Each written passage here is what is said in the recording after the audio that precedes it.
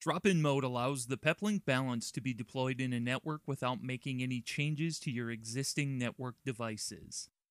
This feature simplifies the installation by allowing the balance to transparently and seamlessly work with your routers and firewalls. Let's take a closer look at the overall picture of the process. Before installing the balance, suppose your existing network looks similar to this diagram.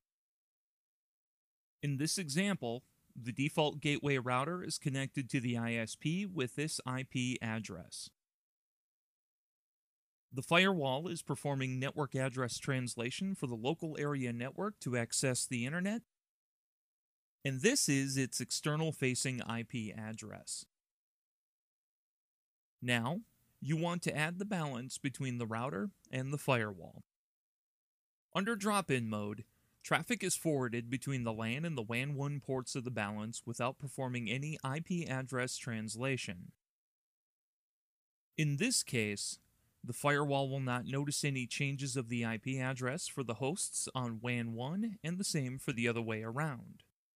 Here, the IP address 210.10.10.3 will be used for the balances LAN and WAN 1. After that, you can add more ISP connections to aggregate and load balance across multiple links.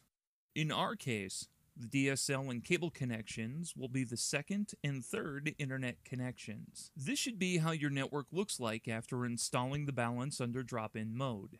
Still have any questions? Visit our knowledge base at this link or contact us. Thank you.